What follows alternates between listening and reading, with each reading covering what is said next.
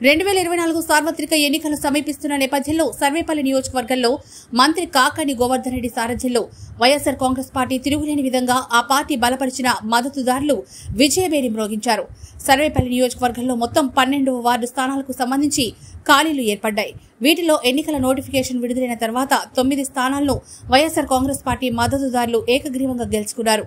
ఎన్నికల ఫలితాల్లో సర్వేపల్లిలో మంత్రి కాకాని గోవర్ధన్ రెడ్డి బలం మరోసారి రుజువైంది.